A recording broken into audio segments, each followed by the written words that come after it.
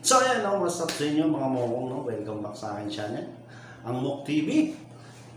At ngayong araw na to, no, pag-uusapan natin ang isa pang epidemya no, na kumakalat ngayon bukod sa COVID-19. No? Kumakalat sa ating kabahayan, lalo na kung may nag-aaral kang anak. No? Ito ang module. Ito ang usapang module. Ah, dahil sa pandemya, no, pansamantalang sinuspinde ang lahat ng klase, no, mula elementarya hanggang kolehiyo. Bagkos, no, ito ay ginawang online class, no, kung saan na kahit nasa bahay lang ang bata, no, patuloy pa rin siyang matututo at nakakapag-aral, no, gamit lang ang kanilang cellphone at internet. Pero gaano ba kahirap ang magsagot ng module, no? Yan ang pag-uusapan natin ngayong araw na to. So, let's do this. Let's go!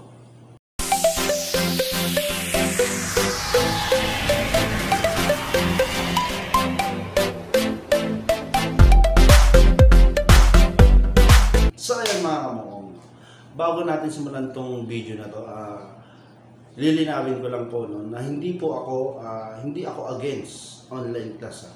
Pabor ako rito. Ah, hindi po ako against online class kasi para sa akin mas okay na to kaysa ang bata ay nasa labas naglalaro lang ah, kaya nanonood ng TV maghapon, nagagadget, di ba? Hindi mag-module na lang sila. Di ba magsagot na lang sila ng module. Ah, para sa bahay na lang sila, the same time, natututo pa sila, di ba? Siguro lahat po tayo pamilyar na sa module, no? Pero para dun ho, no, sa hindi nakakaalam kung ano yung module, no? Isa ho itong test paper na binibigay sa mga bata, no? Ah, test paper sa lahat ng subject ah, para sagutan nila in one week. Kung hindi ako nagkakamali, alam ko, weekly to binibigay at weekly din to pinapasa, no? So, gaano ba kahirap ang magsagot ng module, no? Gaano ba kahirap ang magturo sa anak sa module. Ha? Yan ang pag-uusapan natin ngayon. Marami na ako nakita mag-ina no, dahil sa module talaga nagkakapaluan maigi. Ha? Marami na akong mga batang nakita ano eh, ha? puro bakat ng hangin yung katawan eh, tapos mag-module eh.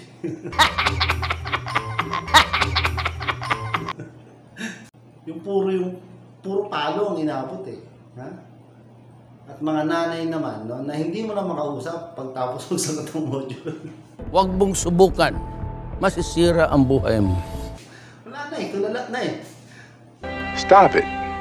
Get some help. So ayun no, no. naiintindihan ko ang tunay no, kung paano, kung gaano kahirap no, ang magturo at magsagot sa module. Kasi meron din ho akong anak na nag-aaral online. No. Isang grade 4 at isang grade 8. Sa katunayan po niyan, dala kong module ng aking anak. No. Ito yung module ng aking grade 4 at aking grade 8. No. Ito, pang grade 8 at isang pang grade 4. No. So ito yung module nila weekly. No. Ah, ito yung kailangan nilang matapos at masagutan sa loob ng isang linggo. So kung bibilangin natin, meron tayong 8 8 subject no na may 2 4 4 pages.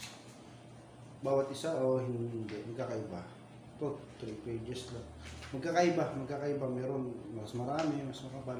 So depende sa subject no? Kung ilang page ang kada subject. Ah so yun nga marami-rami din talaga ito no? Mapapansin nyo talagang marami siya so ito yung kailangan nilang matapos at masagutan sa loob ng isang linggo no? pero ha pero pero ang nangyayari ho kasi no sa magulang napupunta ang pressure no ang pressure para matapos to sa loob ng isang linggo.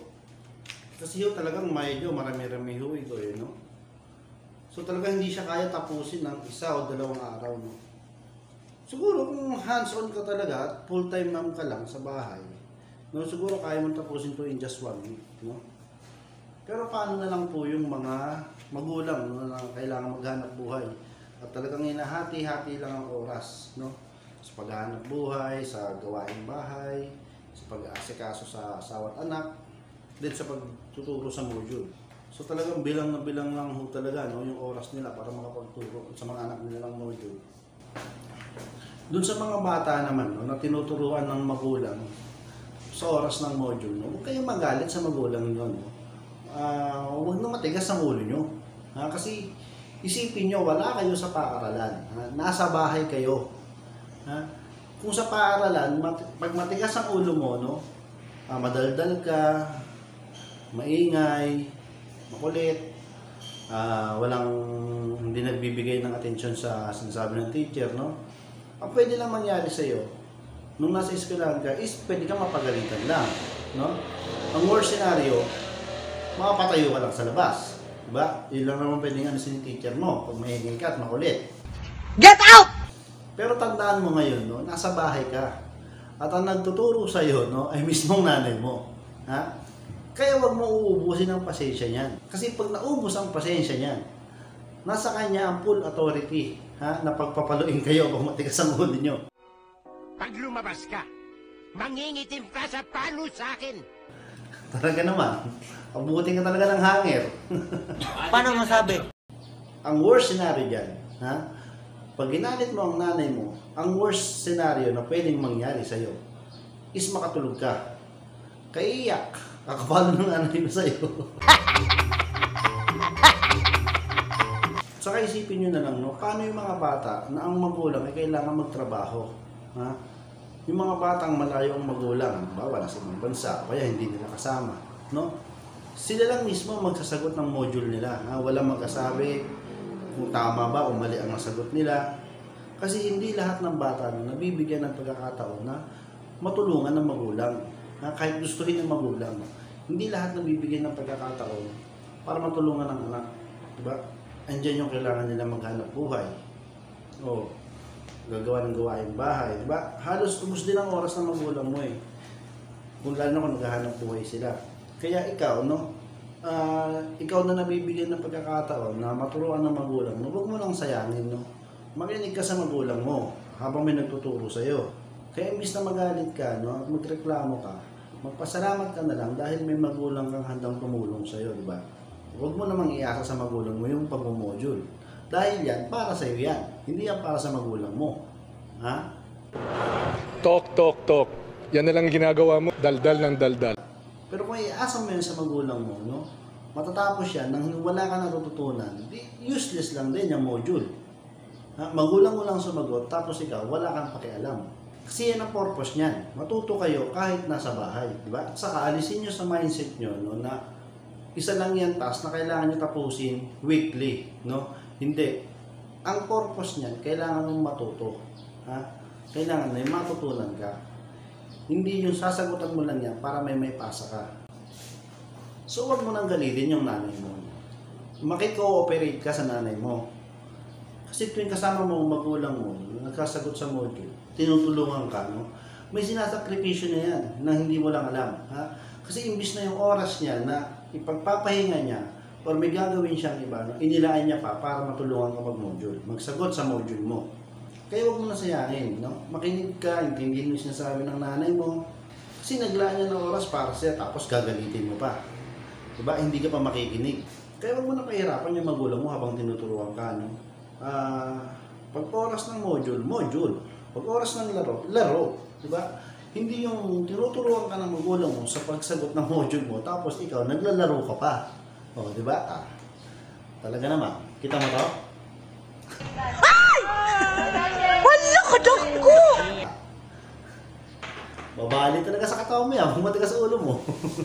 Para naman ho sa mga magulang, hindi ho masama tulungan ng anak sa pagsagot ng module, lalo na pag nahihirapan sila. No? Pero wag naman ho akuhin nyo lahat. No? Wag naman ho kayo na yung sumagot. Tapos yung anak nyo, naglalaro na sa labas.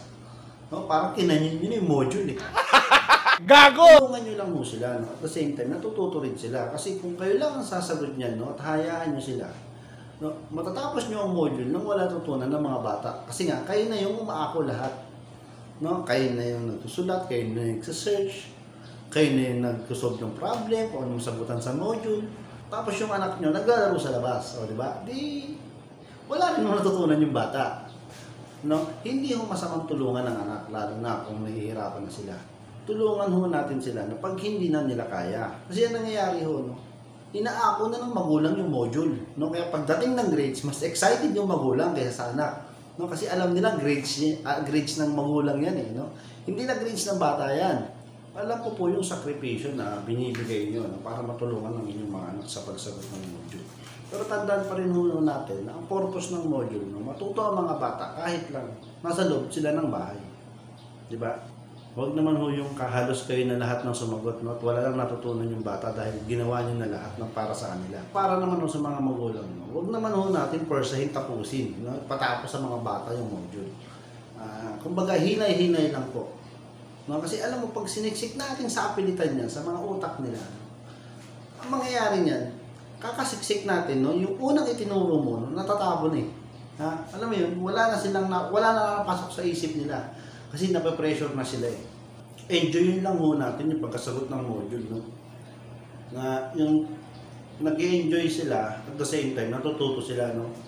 Huwag ho natin silang forsahin, no? Na agad-agaran ma matutunan ng isang bagay, no?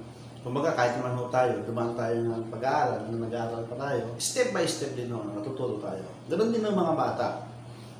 Hindi po binigyan ka ng module ngayon, no? Kailangan 3 to 4 days, tapusin agad yan. No, kung hindi naman kaya ng bata at nahihirapan na. Hindi ho ito pabilisan ng pagsagot, no? Ang purpose ng module na to is matutunan ng bata kahit nasa bahay lang. Siguro, isa na rin itong way, no? Para makabawi tayo sa kanila, no? Sa mga anak natin. Ah, ngayon, pwede natin silang subaybayan habang nag-aaral, no? Pwede natin silang tulungan. Kasi isipin nyo lang natin, before pandemic, noon, nasa school sila. Then uuwi, kung may assignment man, sila na lang ang nagawa. Bihira na silang patulong o matulungan natin, no?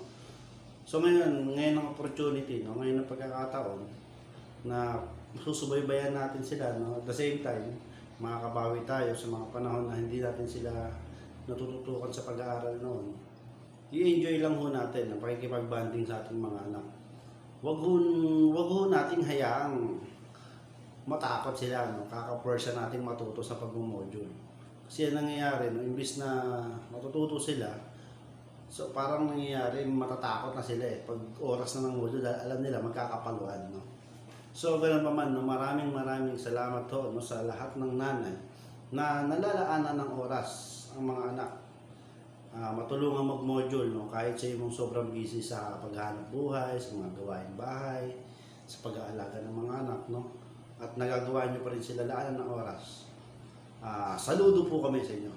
Sinasaludohan kita. Ah, alam ko hong magbubunga lahat ng pagtsatsaga at pagsakripisyo nyo para sa inyong mga anak. No? So hanggang dito na lang po muna tayo. No? At maraming salamat sa panonood sa aking video. At kung ikaw ay bago lang sa aking channel, no, huwag kalimutan mag-subscribe. Uh, hit ang notification bell para lagi ka updated sa aking mga video.